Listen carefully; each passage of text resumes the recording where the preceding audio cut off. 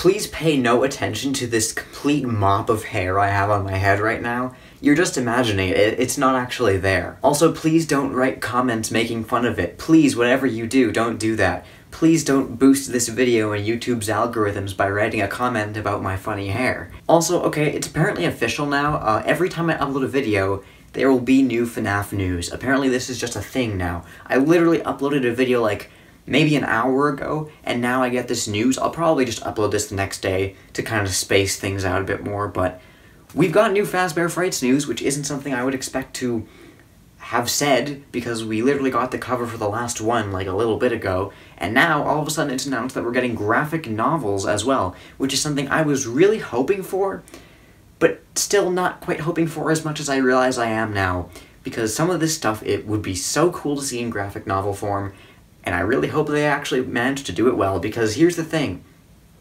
The Silver Eyes, right?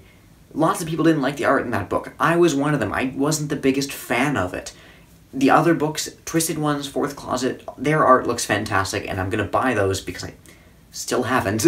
but I just wasn't a fan of the first one. I think it was probably just rushed, and I really hope that isn't the case with these books. I don't know if they're doing all the stories, it sounds like it. The first book is already confirmed to have Into the Pit, to be beautiful, and you'd think Count the Ways, since those would all be uh, from the same original book. Uh, the first book, Into the Pit, had Into the Pit, To Be Beautiful, and Count the Ways. This one actually, though, has Into the Pit, To Be Beautiful, and Out of Stock, for some reason. Uh, bit of an odd choice. Maybe they're going for something a little bit different here. Maybe there'll be some subtle changes to the stories. I don't know.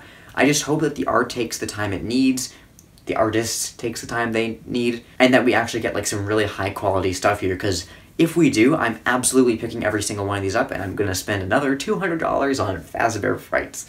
Uh, but that's not all, we're also getting...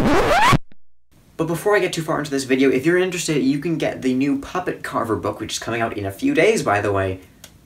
Tick tock, tick tock, I'm glad I pre-ordered it through the link in the description to get an exclusive price on it, which you can pre-order now and get it in a few days. So if you're interested, this is a link that's exclusive to my channel. So make sure to click the link in the description if you're interested in that and if you're interested in these Fazbear Fright stories. On to the video. We're also getting a fourth closet graphic novel, which I mean we already knew, but now we get the cover for it. I already mentioned that I think the art is looking really good here. We got a preview for this one a little bit ago, and now this is fresh on my mind because we got the cover and it looks great. It looks really cool. I like Springtrap's design. I like Circus Baby's design. I like Mangle just looks like Mangle, but I like Mangle's design too. Uh, this is looking really cool. Way better than the first graphic novel, probably even better than the Twisted ones, I'm thinking. The thing is, it takes so long for these things to come out because obviously graphic novels take a ton of time. The Fourth Closet one is only coming out at the end of the year. The Fazbear Fright ones are coming out, they're starting summer of next year, 2022. So I'm just going to be chilling here waiting, I guess. I'll be standing in this exact spot uh, for the next year. And as soon as it comes out, I'm going to rush to the local, I don't know, Barnes & Noble or something, and I'm going to pick one up because I need these books. I really hope they turn out well.